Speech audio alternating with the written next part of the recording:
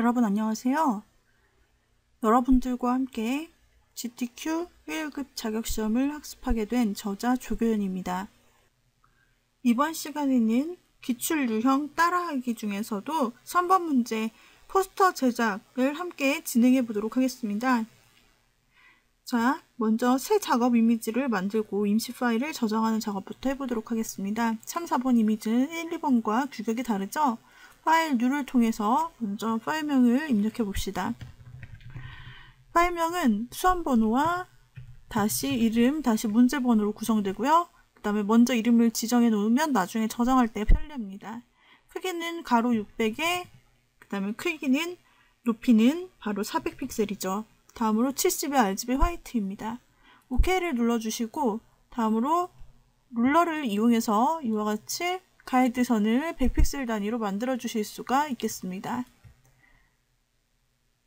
가이드를 모두 다 drag and drop하여 만드셔도 되고 문제에서 제시된 대로 new guide 메뉴를 활용하실 수 있는데 view 메뉴에서 new guide를 통해 세로 방향 100픽셀 view new guide에서 horizontal 100픽셀 같은 방법으로 하셔도 되고 또는 이렇게 수동으로 계속 눈금을 drag and drop 하여서 가이드를 생성하여 놓아주셔도 되겠습니다. 이 상태로 저장하시면 임시 파일이 저장됩니다. 다음으로는 바로 배경을 여기서는 필터로 적용하고 그 다음에 layer mask를 적용할 텐데요. 먼저 우리가 배경 색상을 그라데이션으로 설정해 줄 생각입니다. 여기에서는 바로 gradient tool을 사용해서 gradient 항목을 선택하고 나타나는 gradient editor의 첫 번째 color stop을 double click하여서 값을 넣어 보겠습니다.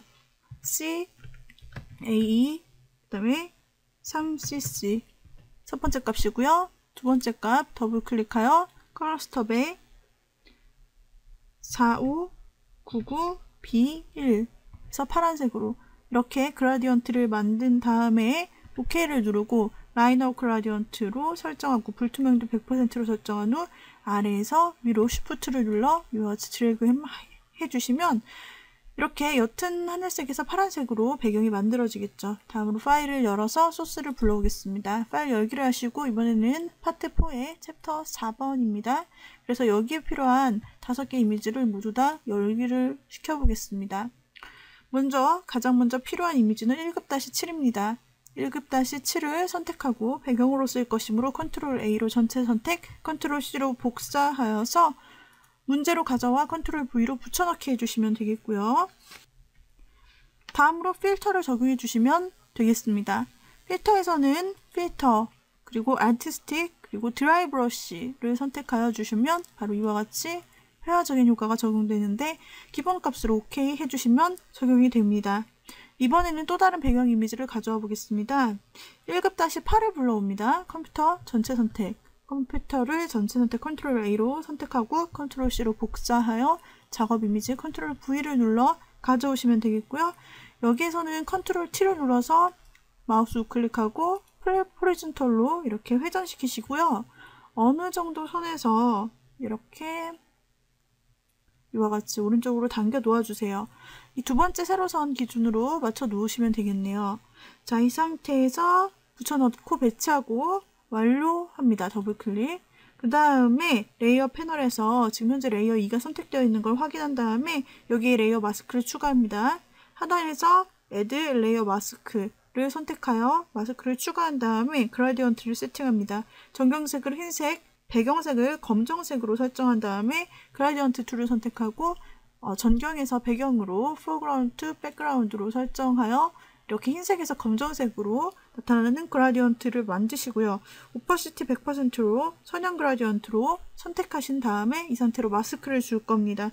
바로 오른쪽에서 왼쪽으로 드래그를 하여 주시면 이와 같이 합성되는 모습 확인하실 수 있는데요. 자, 이와 같이 오른쪽에서부터 길게 주시면 자연스럽게 합성되는 모습 또한 확인하실 수 있을 것입니다. 자, 여러분들이 가이드 때문에 가려서 자연스럽게 합성이 됐는지 잘 알 수 없다면 컨트롤 H로 잠깐 hide 숨기기 기능을 실행할 수 있습니다. 컨트롤 H로 숨기기 기능 하시고 다시 한번 drag and drop하여서 한번 살펴보세요. 자, 자연스럽게 이렇게 합성이 될 때까지 보시고 다시 컨트롤 H로 가이드를 꺼냅니다. 이제는 이미지를 합성하여 layer 스타일 적용하고 혼합 모드를 적용해 보겠습니다. 이제 1급-9를 불러오겠습니다. 1급-9번 이미지를 Magic Wand Tool을 이용해서 선택합니다. 배경을 클릭하여 한번 선택하고 그 다음에 선택 영역을 반전시키세요. Shift 컨트롤 I를 눌러 반전시켜 컨트롤 C로 복사하고 작업 이미지에 컨트롤 V를 눌러 붙여넣습니다. 해당 이미지를 Move Tool을 이용해서 적당한 위치로 배치해 주시면 되겠습니다. 결과물을 보시면서 이렇게 적당히 배치해 주실 수 있겠죠? 컨트롤 T를 눌러 크기도 조절할 수 있겠습니다. 자, 이와 같이 배치하여 더블 클릭하신 다음에 layer 스타일을 적용하기 위해 Add Layer Style 단추를 클릭하고 여기서 Outer Glow를 설정하고 사이즈만 조정합니다. 사이즈를 15픽셀로 설정하여 OK를 누르면 빛이 크게 퍼지는 것을 볼 수 있죠. 다음으로는 우리가 1급-10을 열어보겠습니다. 여기서는 배경이 흰색입니다. 여기서 배경을 바로 Magic Wand Tool로 역시 선택할 수 있겠죠. 배경을 선택한 후 마찬가지로 여기서는 Contiguous를 해제하여서 배경 바깥 흰색만 선택되도록 하고 역시 Shift 컨트롤 I를 눌러 우리가 가져올 수 있습니다. 여기서 너무 넓게 선택될 때는 다시 선택을 해제한 후 Tolerance를 줄여주시고 다시 한번 클릭해 보세요. Tolerance가 너무 크다면 0으로 설정한 후 다시 한번 배경만 클릭. 자 그러면은 또다시 설정되는 모습 확인할 수 있고 수치에 따라서 다를 것입니다. 자 여기에서는 15픽셀로 Tolerance를 설정한 후 배경을 클릭해 보았고요. Shift 컨트롤 I를 눌러 선택 반전시킨 후 컨트롤 C로 복사. 그리고 작업 이미지 컨트롤 V를 눌러서 붙여넣기를 하고 그림과 같이 배치하기 위해 컨트롤 T를 누르고 Shift를 눌러 크기를 줄이고 또 이동시키고 그 다음에 살짝 회전시켜 결과처럼 배치하시면 됩니다. 되셨다면 더블 클릭하여 주시면 되겠고요. 여기서 blending 옵션 layer에 있는 blending mode를 Hard Light로 변경하여 줍니다. Hard Light. 자, 그러면 이와 같이 빛이 들어간 형태로 볼수 있고요. 뿐만 아니라 opacity layer 패널에서 80%로 변경하여 적용합니다. 자, 이번에는 1급-11을 사용해 보겠습니다. 1급-11 전등 이미지인데요. 여기서는 Quick Selection 도구를 사용해 보겠습니다. Quick Selection Tool을 사용하여서 등 부분을 살짝 드래그하여 밑에 부분까지 이렇게 같이 drag and drop하여 선택하시고요. 등 부분만 선택하시고 컨트롤 C를 눌러 복사합니다. 다시 작업 화면으로 돌아와 컨트롤 V로 붙여 넣습니다. 그리고 결과물을 보시면서 배치할 수 있습니다. 자, 지금 결과물에서는 우측에 이렇게 달려 있습니다. 등이 우측에 매달려 있는 형태로 보이게끔 자, 이와 같이 배치해 주시면 되겠고요.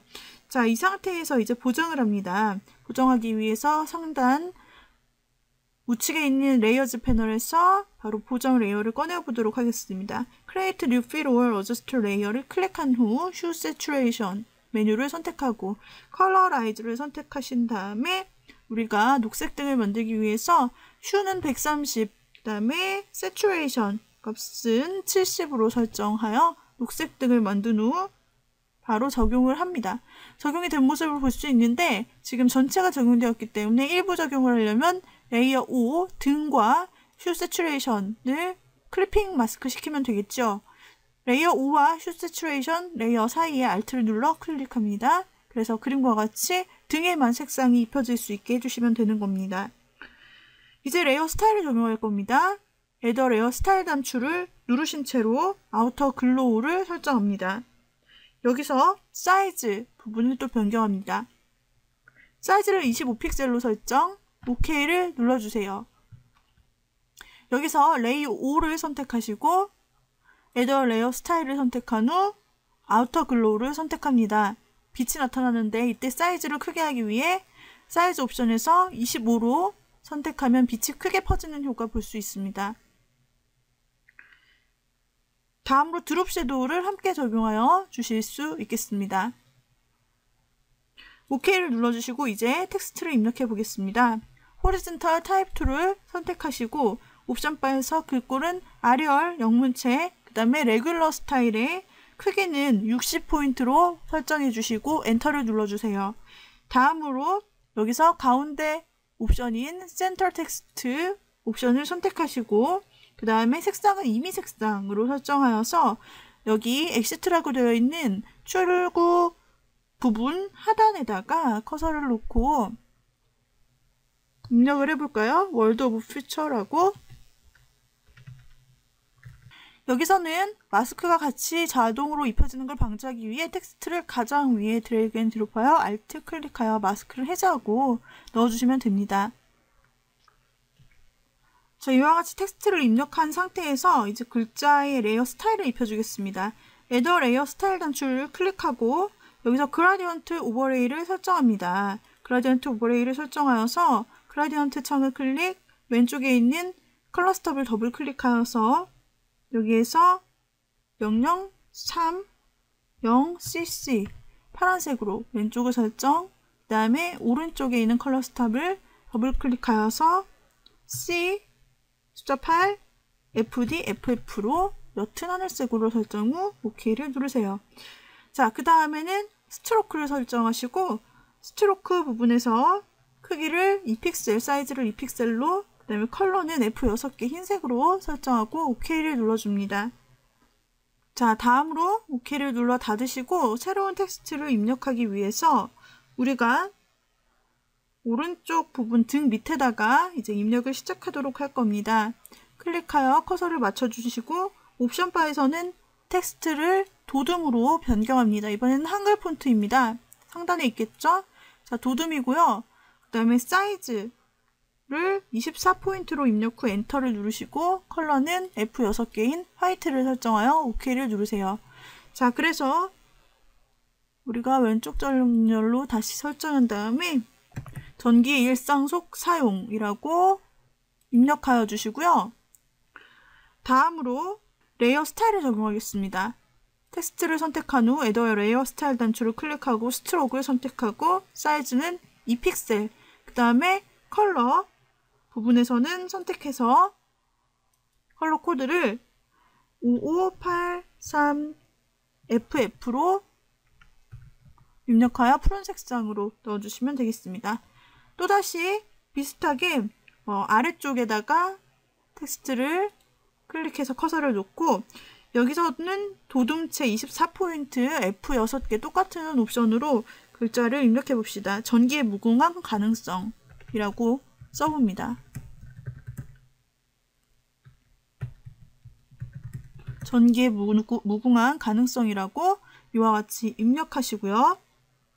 layer style에서 Add a layer style에서 Stroke 선택하시고 그 다음에 여기서는 굵기를 1픽셀 사이즈로 설정하고 그 다음에 색상 5583FF로 설정하고 OK를 눌러주시면 되겠습니다. 자, 다음으로 여기에서 두 개 텍스트 모두에 이제 왜곡 기능을 적용할 건데요. 먼저 전기 일상 속 사용 layer를 선택하고 상단 옵션 패널에서 Create Warped Text를 선택합니다. 그래서 여기서 아크 스타일을 먼저 설정을 하시면 부채꼴 형태로 이와 같이 왜곡이 되고 여기서 밴드는 40%로 입력해 주겠습니다. OK를 눌러보세요. 이와 같이 나타나죠? 그리고 여기서 아래 입력한 전개 무궁한 가능성에도 역시 똑같이 아크 밴드 40을 입력하고 OK를 눌러주세요. 자, 그 다음에는 결과물처럼 만들기 위해 Ctrl T로 회전을 시킬 겁니다. 먼저 전기 일상 속 사용이란 텍스트 선택하여 Ctrl T를 누르고 이렇게 회전시키시면 됩니다.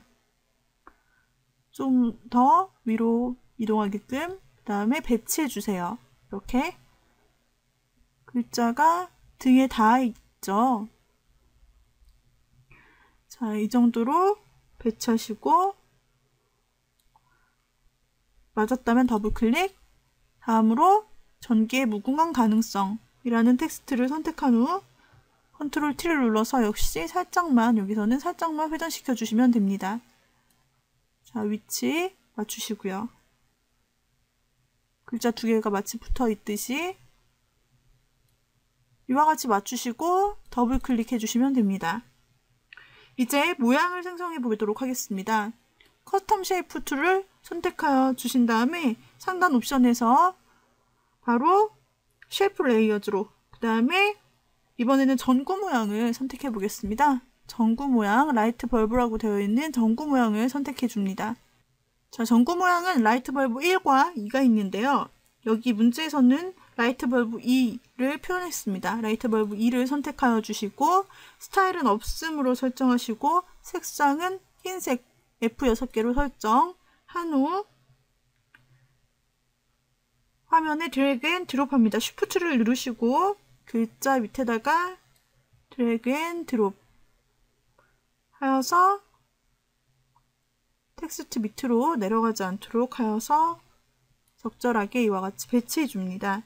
자, Layer 패널에서 Layer, Add a Layer Style을 클릭한 후 Drop Shadow를 적용하시고 또한 Outer Glow까지 함께 적용하여 OK를 누르시고 닫아주시면 이와 같이 스타일 적용이 됩니다. 이제 또 다른 사용자를, 사용자 정의 모양을 그려보겠습니다. 역시 같은 옵션을 선택한 다음에 모양을 바꿔주도록 하겠습니다. 새로 그리실 때 이번에는 Nuclear 원자력을 선택하겠습니다. 하단에 나타나겠죠. Nuclear를 선택하시고 더블 클릭. 일단은 먼저 그리고 나중에 색상을 바꿔볼까요? 이것은 먼저 처음에 이 Exit 옆에 상단 부분에다가 Shift를 누르며 드래그 해보겠습니다. 자, 이와 같이 drag and drop 하시고 스타일은 상단 옵션에서 None으로 설정하시고요. 그 다음에 컬러는 F6개 흰색으로 설정하고 위치를 적절히 조절하여 주시면 됩니다. 다음으로 불투명도를 조절해 보겠습니다. Layer 패널에서 Opacity를 선택하시고 50%로 설정 후 Enter를 눌러 적용을 해줍니다. 또 다른 Shape를 그리기 위해 Custom Shape Tool을 선택하시고요. 똑같은 모양 Nuclear 형태를 적용을 하겠습니다. 흰색으로 설정하고 이번에는 상단에 더큰 상태로 Shift를 누르면서 윗부분이 좀 잘리게끔 이와 같이 적용하여 큼지막하게 그려주시면 됩니다. 이동 도구를 선택하여서 위치를 적절히 맞춰주시고 여기서는 Layer Opacity를 30%로 적용하여 더 연하게 적용하시고 최종적으로 Path에서 가장 하단을 클릭하여서 Path 영역이 보이지 않게끔 만들어 주시고요. 자, 이렇게 완성이 된 상태에서는 최종적으로 View 메뉴에서 Clear Guides를 눌러 모든 가이드를 삭제해 주시면 완성이 되겠네요. 최종 확인을 하셨다면 이제 JPG로 저장합니다. 파일, Save As를 눌러 포맷을 JPG로 설정한 다음에 보시면 수험자 번호 다시 이름 다시 3이 될 것입니다. 여기서 이름은 본인의 이름을 써주시면 되고 다시 3이라는 것은 문제 번호죠. 앞부분은 여러분들이 부여받은 여러분 고유의 수험자 번호를 써주시고 맞는지 확인한 후 저장을 눌러 JPG로 저장을 마치고 다음 10분의 1 사이즈로 줄입니다. 이미지 메뉴에서 Image Size를 눌러서 60, 40 픽셀로 각각 입력하고 OK를 누르면 10분의 1 사이즈로 줄어드는데 이때 어, 채점자는 Layer 를 확인하는 것입니다. 자, 10분의 1로 모두 다 적용을 마치셨다면 이 PSD 파일을 파일 Save As를 통해서 PSD 그대로 이 상태로 이름을 확인하시고 저장 누르시면 되겠죠. 이렇게 10분의 1 사이즈로 줄인 PSD와 원래 사이즈의 JPG 파일 두 개의 최종 파일을 답안 전송 프로그램을 통해 전송합니다. 이러면 우리가 3번 문제 풀이를 모두 다 해본 것이 되는데요. 자, 3번 문제, 기출문제 유형 풀이를 마쳤습니다. 다음 시간에 4번 문제에 대한 풀이를 함께 해보도록 하죠. 여러분 수고하셨습니다.